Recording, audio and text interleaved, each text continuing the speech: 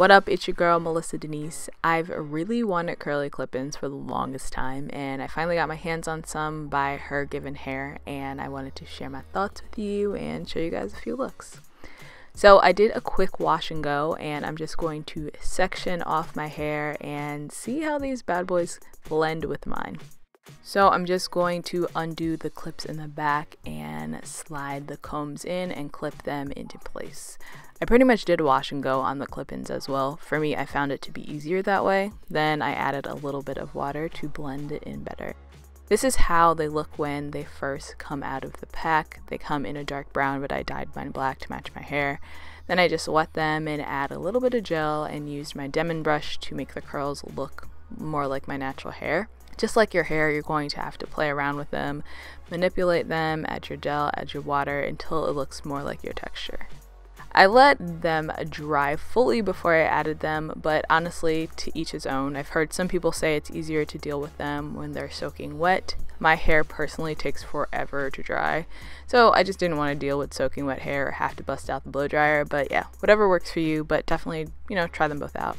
I ended up getting two bundles of the 22 inch curly texture, but they also carry other textures as well. So I'll leave all the information in the description box so you guys can check them out. Make sure that you thoroughly wash them before you use them. That is definitely a must.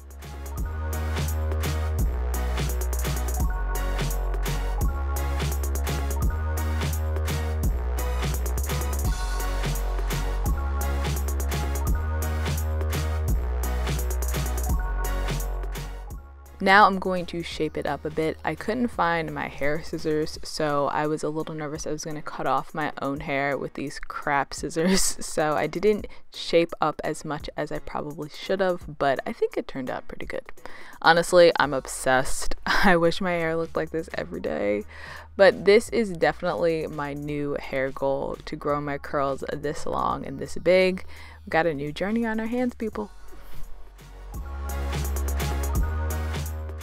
This next look is a good lazy go-to or if you're having a bad hair day. I'm just going to pull all my hair up and out of the way, then grab a bandana or something fancy if you like.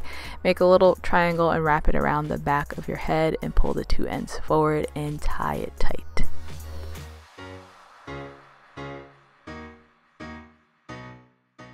Now I'm just going to fold down the top a little bit.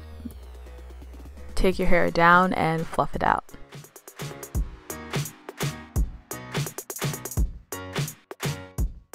I don't know. This look just always reminds me of summer, the beach, a snack.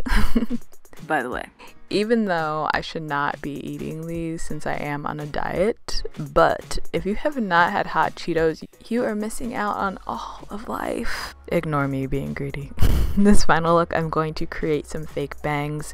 I'm just taking one set of clip-ins and hiding the clips under my bun and snapping those bad boys into place. You can definitely just cut them at this point, but I didn't want to do so, so I just am going to twist them up and bobby pin them down. I'm going to take an additional layer just to make them a bit fuller and bobby pin that section and down as well.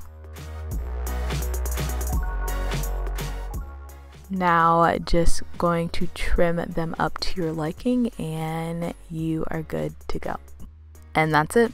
All the info on my clip-ins and her given hair can be found in the description box. They're having a big second anniversary sale coming up in July, so make sure you guys be on the lookout for that. Let me know what your hair journey is looking like right now. What are your new hair goals? I love to hear from you guys. Like always, I love you, I appreciate you, and I'll see you guys in the next video. Bye.